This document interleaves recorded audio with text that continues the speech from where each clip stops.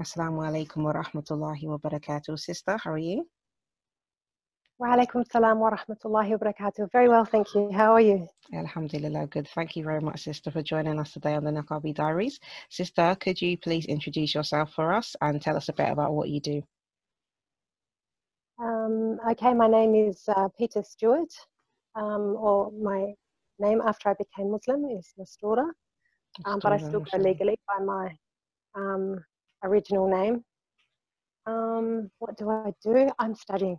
Uh, I'm an online. I'm an online student, so I'm still studying even in the lockdown. Alhamdulillah. What are you um, studying? I'm studying. I'm studying digital design. Okay.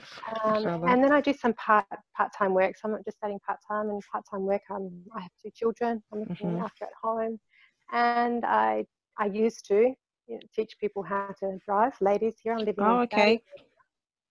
So I'm in Saudi. Helping, I'm living in Saudi Arabia, so I'm helping ladies to get on the road. oh right. So has the, have they changed Arabia. the rules now? I'm a bit behind. Yeah, you're you're about a year behind. Okay, alhamdulillah. Okay. ladies have been driving over here for um yeah for one year. Okay, alhamdulillah, have, that's um, good. They've opened the system. They've set up a few schools around the place, but those schools um, are packed. Mm-hmm. So I'm I'm just doing freelance. Okay. Uh, freelance, you know, teaching people to drive, just um, casual jobs, picking up work here and there. So great, cool. Okay, sister. So um, you mentioned that um, you have uh, obviously you use you have a Muslim name, so that means that you must be a revert. So could you let us know a little bit about how you came to Islam?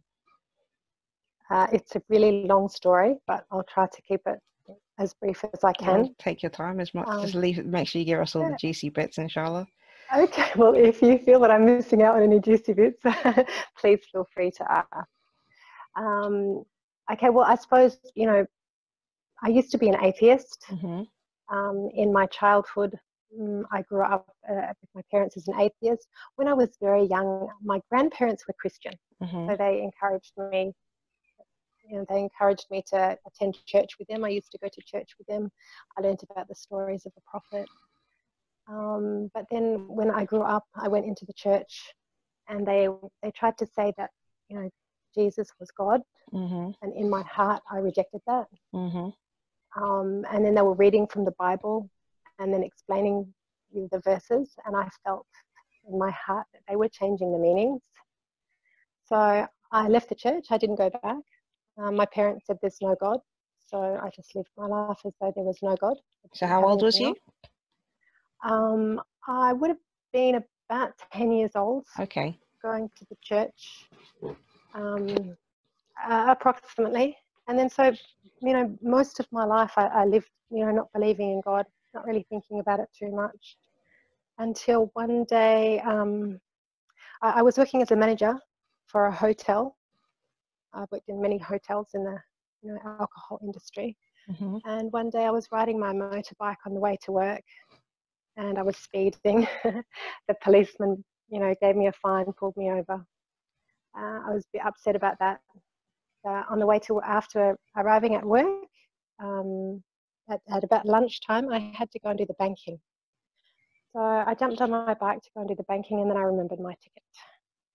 And then on the way, um, I, I, slowed down after remembering my ticket, and just about two seconds after slowing down, this car pulled out over a double lane, crossed my path, and missed me by, by about an inch.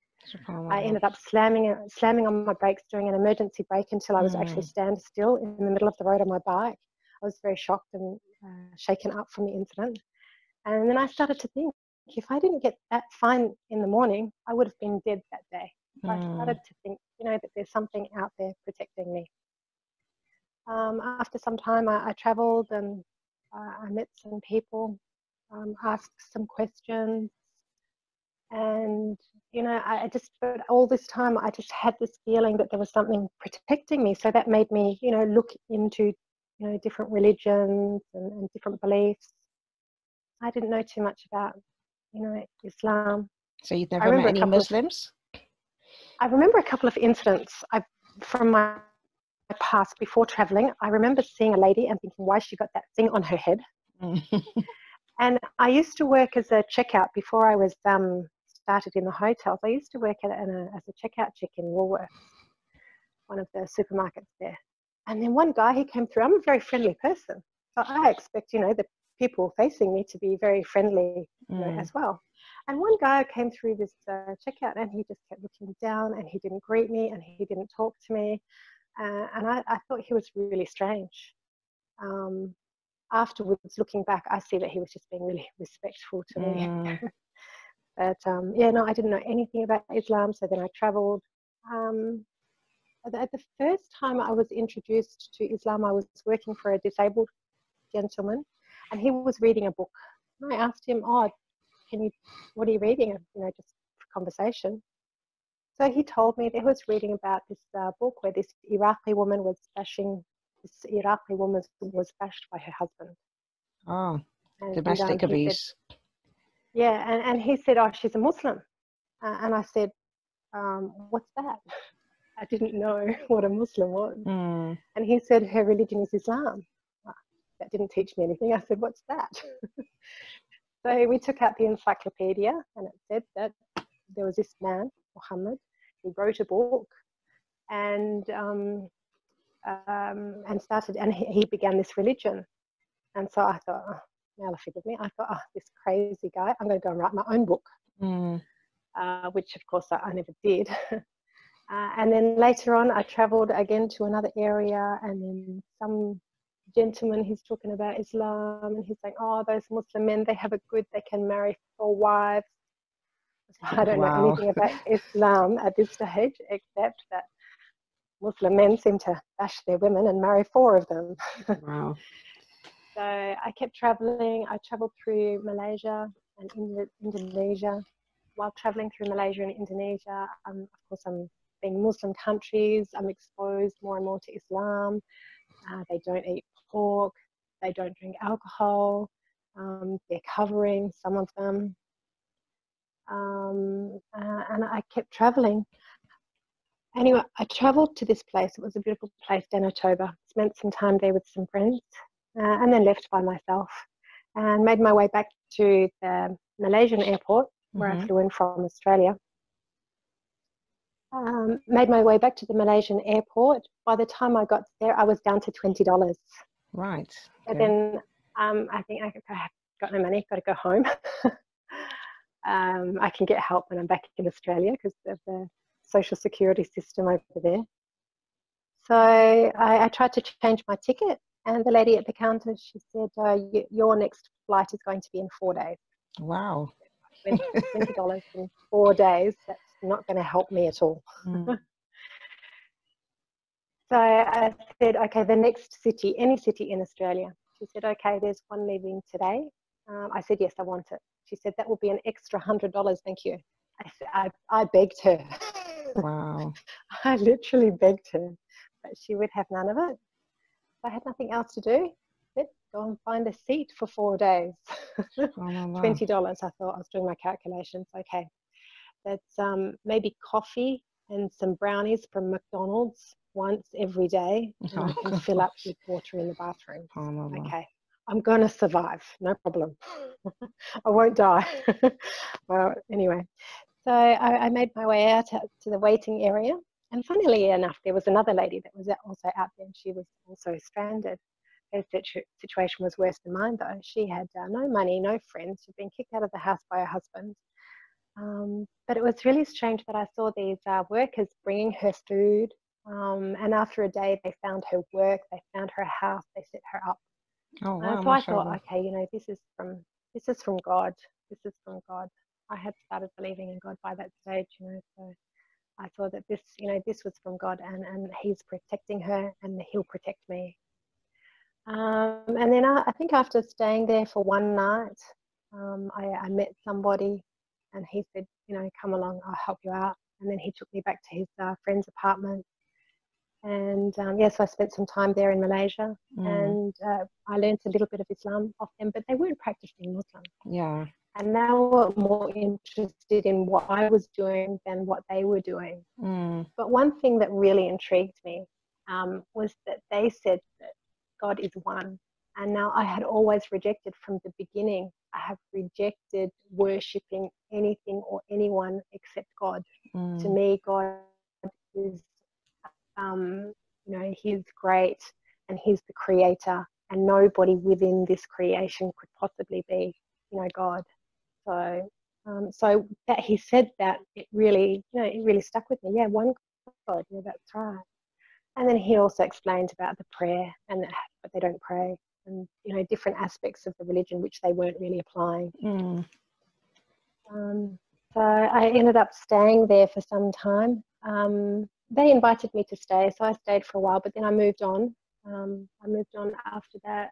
I, I found a, an apartment as a lady. By this stage, I was really, I, I forgot about my dream at the airport. to go back and start again. my dream while I was at the airport, I was sleeping at the airport. I saw a dream of myself, a vision. I saw myself wearing a scarf and speaking a different language. I understood that that was a message from God. That's what I thought, that this is a message from God that He wants me to become Muslim. So I took that as uh, as guidance and, mm. and um, and took it from there. So I started asking people about becoming Muslim, um, this lady, I, I, stayed in this apartment with this lady and some other people. And she was a Christian that had become Muslim, so she's telling me about this course that she did. Mm. So I said, "Oh, I'm not really interested in the course. I just want to become Muslim." So all this time you're still in Malaysia? Um, or yeah, in Malaysia, I stayed in Malaysia for about eight months altogether. Wow! So you did. So you, after wanting to go back to Australia, and waiting I for that four-day flight, Subhanallah. Yeah, no, I ended up staying. I, in the meantime, I had um, asked my father to send me some money. Some money. Mm. So I was able to, you know, make my way around. Um, and then what happened? Yes, yeah, so I was staying in the apartment with her. She was showing me all these movies, Jesus of Nazareth, and all the women in there were wearing scarves like the Muslims. Um, that was really interesting. Mm. Um, um, I had also met one gentleman in a restaurant talking to him about Islam, and he said, If you need help converting, let me know. And so one day I went back and I spoke to him and said, you know, I want to become Muslim. Uh, and then he arranged for me, and we went to, uh, there was an aqiqah. Um, okay. There was uh, an aqiqah, and uh, at the aqiqah, there was a huge gathering of maybe about 100 people um, and a sheikh was invited. The mm. sheikh came up, shaved the baby's head, gave it some tamar, mm. some date, and read some dua, and then called me forward and asked me to, you know, informed me about the six pillars of Iman, the five pillars of Islam. Um, I'm agreeing with most of it. Yes, yes, no, okay, mm okay, maybe, yeah, no problem, because my knowledge was so limited. Mm. Uh, and then he said, okay, I took the Shahada with him. And then he said, okay, what name would you like? So I had been out in town before with some friends and they said Masura. I mm-hmm. said Masturah. He kept correcting me.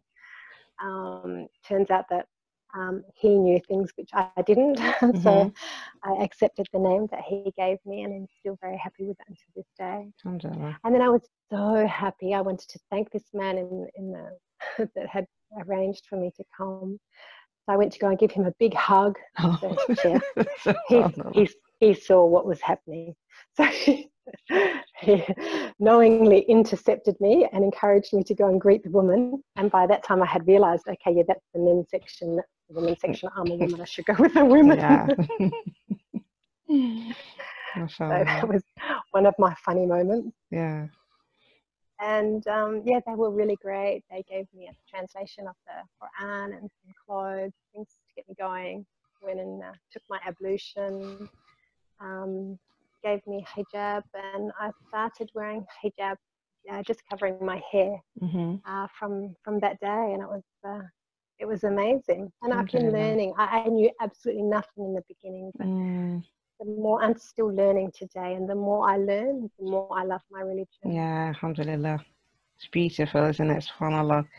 So when you when you started wearing the hijab, the headscarf, like how did that feel in the beginning? Oh, I cried. I was so Yeah. happy. I felt that it was just such, um, you know, it was such a merciful thing. I had Mm. spent my whole life half naked, let's say, Mm, um, and you know, it really disturbed me. Most of the time, I would wear baggy pants and a baggy top, and because I just don't want people staring at me. mm, I just want to feel. you know, I want my, I want freedom. I, I don't want this harassment. This, mm, it's really strange.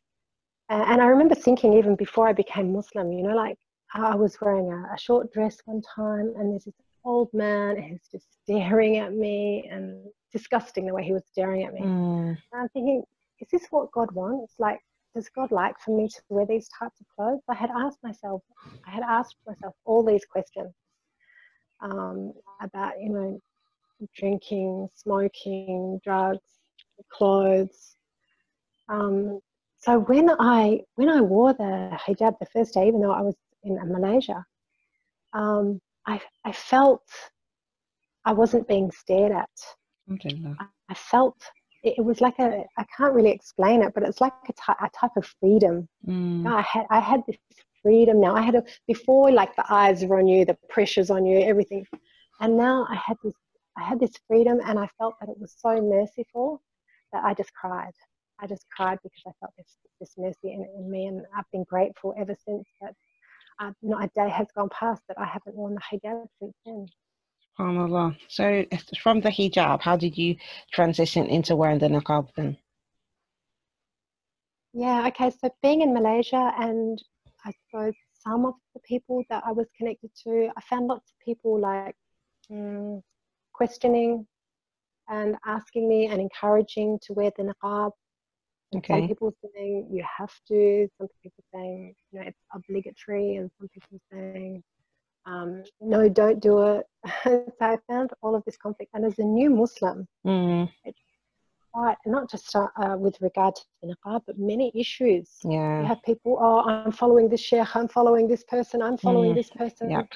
Well, what are you talking about?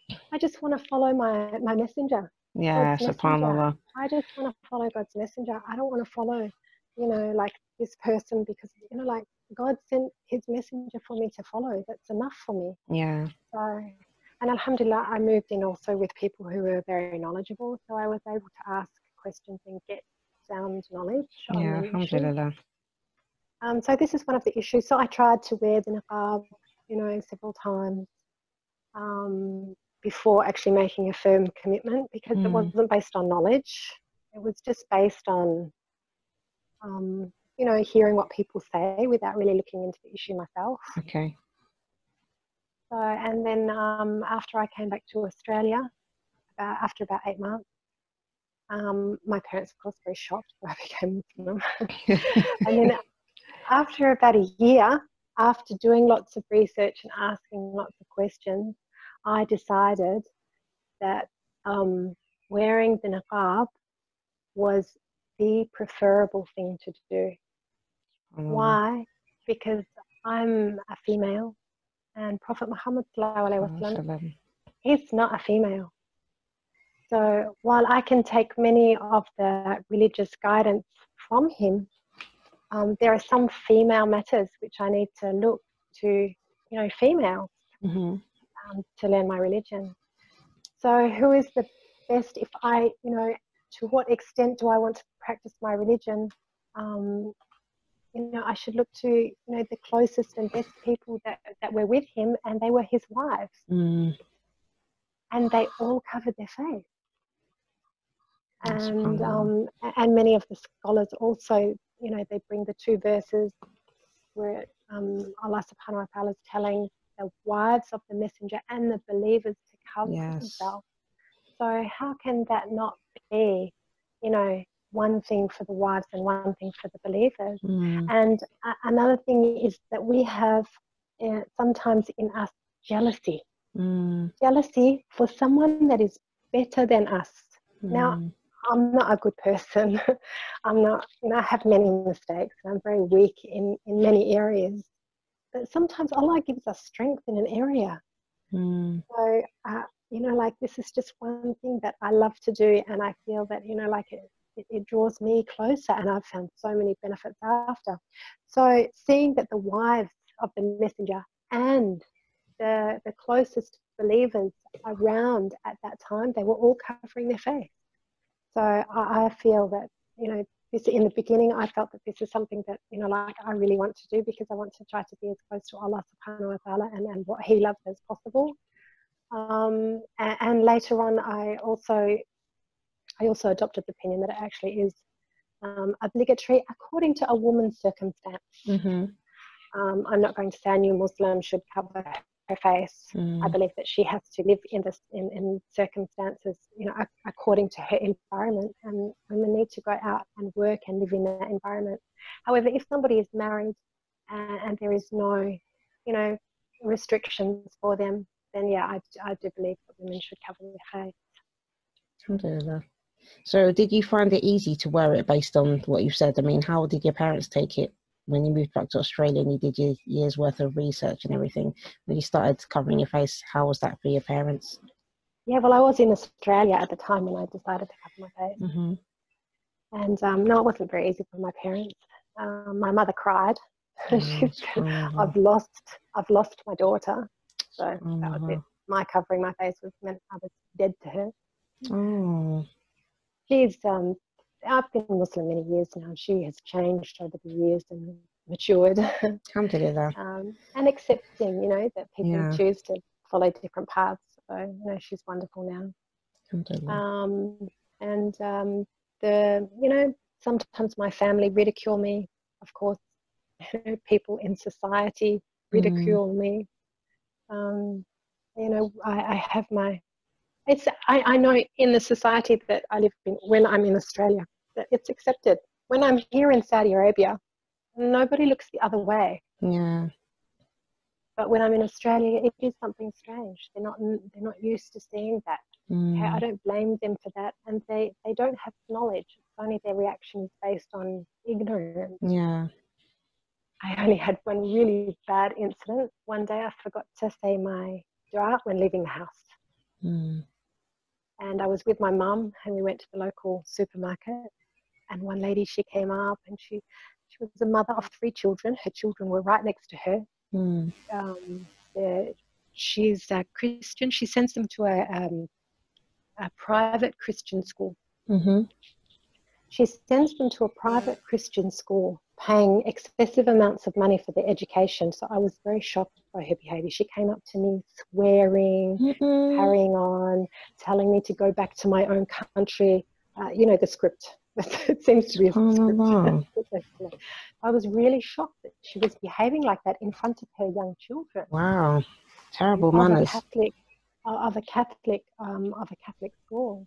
Mm. Um, and then I thought, okay, my mum's going to give me, a, you know, have me out uh, of course, I'm, I'm not quiet when these things happen. I'm like, well, you know, she looked like she was Italian or something. I said, I'm from Australia. Where are you from? Um, and I said, it came this, um, you know, a little, uh, uh, a short dialog mm-hmm. between us. Um, and then I, you know, just, you know, left, okay, she, you know, her to her way and me to my way. So then I, I waited for my mother mm-hmm. her response by the time we got home. And I was surprised. It was nice. My mother's response. She said, and this is after years of you know getting used to me wearing you know covering mm-hmm. my face. She said, uh, "I really, I, I wish I had have responded to the lady." Mm. She said, "I wish I had have said to her, I want to see you in ten years' time when one of your when one of your daughters is on drugs, one of them becomes gay, and one of them becomes Muslim. Oh, I want wow. to see you." this is life. People choose yeah. different paths. SubhanAllah. Um, so yeah, that, that was my. I think my mum. She's maybe been through a lot that she feels. SubhanAllah. So that was really interesting. Her response, and but um, you know, I have also I have also had people come up and, and say to me, you know, like they look past they look past the the appearance and they come up to me and say, "Look, I really appreciate you. I appreciate how you're trying to educate your daughters, and mm. they can see that I'm trying to be um, a good person. Yeah. So you know, I'm only trying to be the, the, the best Muslim I can be, and that, that's to have the best character that I can have. Alhamdulillah. So how did you? I mean, Sister, so how, how did you come to be living in Saudi Arabia? Uh, okay, after about a year, just after I started wearing niqab, actually, I was Mhm. informed that there is one um, scholar from Saudi Arabia who's Mhm. looking to get married. Okay, And um, yeah, so it was arranged. alhamdulillah. Great, mashallah. So how long have you been living out there? um, I've been back to Australia several times, so I travelled back and forth a little Mhm. bit. But um, uh, probably about 15 years here altogether. SubhanAllah, that's amazing. Wow. So, like, obviously, like being um, a revert and living in Saudi, how did you find like the cultural difference? Did you do? You, oh, I'm assuming that you preferred Saudi because of the ease of being able to practice your religion freely. But as an Australian and somebody who's used to particular things, like culturally, how did you find that cultural difference? Yeah, um, and I suppose that it's it's going to there's cultural difference whether it's here or it's there. Um, in any place, different people from all over the world have their different cultures. Mm, Malaysia, there was had a very strong culture, in Indonesia, and so and I had to, because I had travelled a little bit and I got to know different people from different backgrounds, so it wasn't too much of a big deal. mhm, There are tests here. It is very difficult. It was very difficult sometimes. Um, it felt sometimes lonely being at home, not being able to drive, not being able to go to places. Um, now, of course, that that's changed to a certain extent. mhm. But um, but I, the way I see it is this life is a test. Yeah, of course. test wherever we are. Okay, if I go to Australia, my test is my religion. Mhm, When I'm here, okay, my religion's easy. But my Mhm. test is maybe the people, maybe the Mm. system, maybe the environment, maybe family, maybe in laws, mm. children, whatever, there will always be a test. So yeah, we just need to we just need to be patient. Just try to do what pleases Allah in every situation. Yeah, alhamdulillah. So what's what's been your experience so far? I mean, you say you travel back and forth often um, to Australia. So, like, what's your experience with traveling on the plane and things like that? Wearing the niqab. It's been sometimes humorous, uh, and sometimes it's been you know, a pleasant experience. Okay. So, can, Um, can you share one pleasant and one humorous for us? Yeah, one I was traveling, both of them I was traveling from Australia. These both eventful. Um, um, uh, both these times. Okay, one time I was traveling from Australia and the lady, okay, she spotted me and she said, Oh, we're going to check you. Okay. so she's giving me the full pat down at the Mhm. airport. And I, I'm sorry, I just have to make fun of every situation. So I said, Mhm. Well, look, free massage before I fly. MashaAllah. so um, I'm not sure. I don't know if that's because of my religion, the way I look, or what have you. And another time, um, in was it the last time I came back? Was a really um, it was a really nice experience. So, so I'm coming through the lady in the counter at the counter coming Mhm. through uh, immigration on the way out. She saw me. She spotted me as soon as I've come in the room. She's pretty much directly come straight up to me and said, um, "Would you like to come over to the side to do your screening?" hmm Uh, and I said, "Okay, thank you very much." So I got to skip the whole queue. got given priority um, priority screening on the side, um, and so that, that was very that was very thoughtful and um, that was very nice of them. So that was a really nice experience at the same place. Alhamdulillah. Great. MashaAllah. So have you um obviously you living in Saudi Arabia. For me personally, sometimes like people when they see me with niqab, they'll say, ask I've been asked before, am I am I from Saudi? Yeah. So you get that sometimes. And often especially like you've mentioned before, people they say like, Oh, go back to your country and all those kind of things. Like a lot of the time people think that because you're covering your face you must be from Saudi. And this is even from some Muslims I've experienced this as well. You know, they assume Okay, that they, they assume that I'm not from like the UK because I'm wearing the niqab. Okay, I've experienced that personally. So um, oh, okay. Yeah. like, do you um, do you know anybody that's living in Saudi Arabia? Like, have you met any sisters who are forced to wear the niqab, or have you met any sisters who do want to wear it, but they have been prevented from wearing it. Because I know that in Saudi, like it's very common that sisters usually cover their faces, and it's like a cultural thing as well, obviously. Yeah, yeah. So I mean, I, I wouldn't be able to say that you know there must, you know, there must be you know like people here that mm-hmm. are forced, you know, mm-hmm. especially the younger generation. They mm-hmm. want their mm-hmm. freedom. They want to. They they don't want their religion. Um, there, you know, there really is a lack of belief you know, in some of the, the younger generations, mm. and, and, of course must must be the older generations as well. But um, uh, and I'm I'm actually living in a very conservative town, okay. where almost everybody wears, wears niqab. Um, the only people that when they take it off is like when they go to the, the main city, Jeddah, shopping mm. or family visits, they will take off their niqab. But generally inside the city, they they wear their niqab.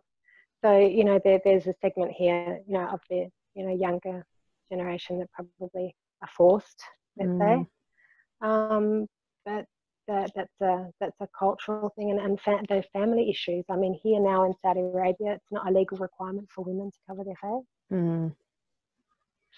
Um, uh, yeah, just um, a, a, part of the life here, and I've, I've uh, discussed, you know, the, the topic of, of freedom and yeah. you know, and how that can protect, you know, the the, the rights um, of you know the society and citizens in particular. Um, but that's another issue anyway. Um, as for in, uh, have people ever like in Australia? Yeah, I remember there was one lady. She used to wear niqab, um, but when she got married, her husband forbade her from wearing it, so she oh. had to take it off. Oh, it goes it goes both ways. Yeah, it does. Yeah. yeah. Yeah, I remember um, meeting a, a sister from Saudi Arabia. I was doing an English course, and um, basically, mashallah, she when I met her, like I was I was wearing niqab, so and she said to me, "Oh yeah, I love my country better than this country because in my country the women they have to wear a abaya, but in this country the women they just wear anything." And she was sitting there and she had a scarf on and she was wearing like tight jeans and a jumper, and I just thought, well, you could still wear a abaya here if you wanted to wear a abaya. you know, but yeah. like obviously for her it was a cultural thing, and at those times I didn't really know much about like kind of the rules and the cultural elements of like being in mm. Saudi Arabia because I've never um, I hadn't really met many sisters from Saudi Arabia, and the I had a close friend from Saudi Arabia, but she and she was um, mashallah, she used to wear niqab and everything. But apart from her, I hadn't met other sisters really to have like that much interaction with them. So I didn't want to assume that everybody's like exactly like how my friend was. You know what I mean?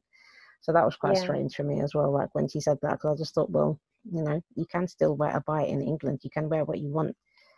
But she'd obviously chosen to not wear the abaya here. But then she said that's the reason why she prefers her country because you have to wear it over there. So I thought that was strange. Like it's like almost preferring that you're forced to wear it rather than just being free to choose to wear it for the sake of your religion. Yeah, so I think this is just ignorance, you know, yeah. like people they're just not aware, like, you know, they think that they have to. And well, sometimes people are too overwhelmed with um, self consciousness mm. that they feel that they have to, you know, fit in.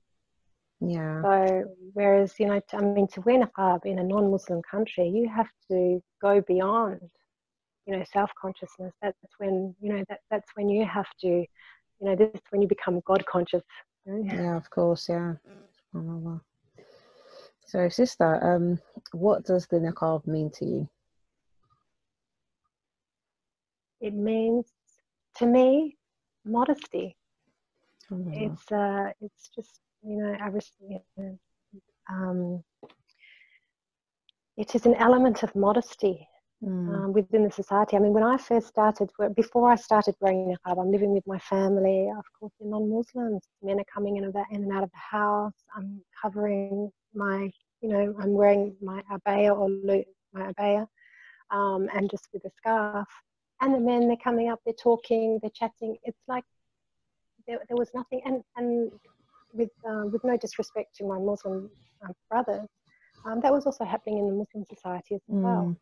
They're chatting, they feel happy to chat with me, and oh, how are you going, and what are you doing, and you know, where are you from, and um, it was, just, it was very easy for them to come and chat and be friends and um, and I feel that this is this is not you know what my religion is teaching me that I should be friends with all of these people and smiling and chatting and you know this is you know um, it's against what I was being taught about my religion about you know the, the women being modest except with her husband and her family and mm. so when I started when I made that decision and um, based on knowledge when I made the decision to wear the niqab based on knowledge um, I felt I got respect I felt now I was being respected, and that's by the non Muslims and the Muslims.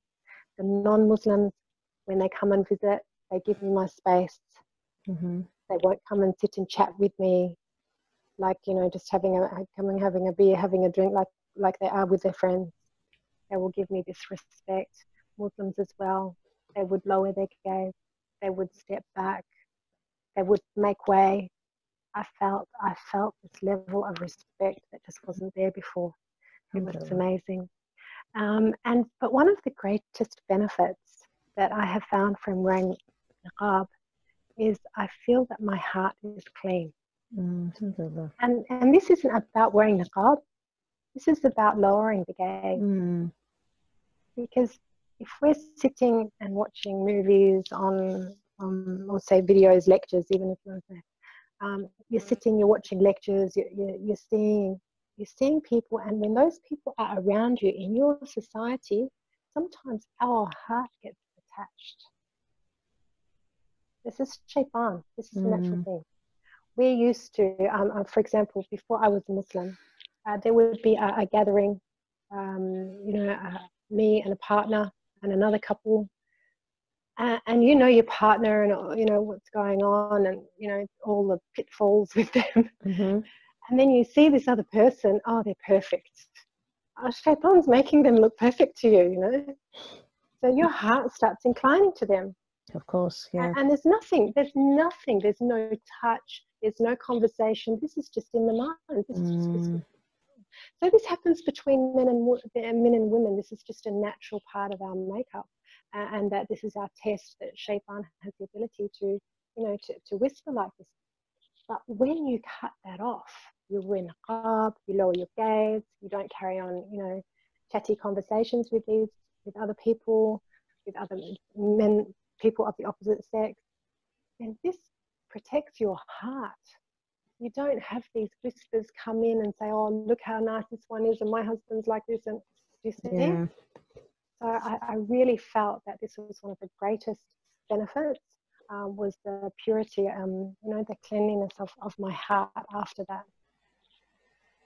Alhamdulillah, mashallah. Sister, I wanted to ask you actually, I wanted to go back to asking you about your course that you're studying. You said you're doing digital design. What made you want to get into that? I've been looking for work over here in Saudi Arabia for quite some time and I found it quite difficult.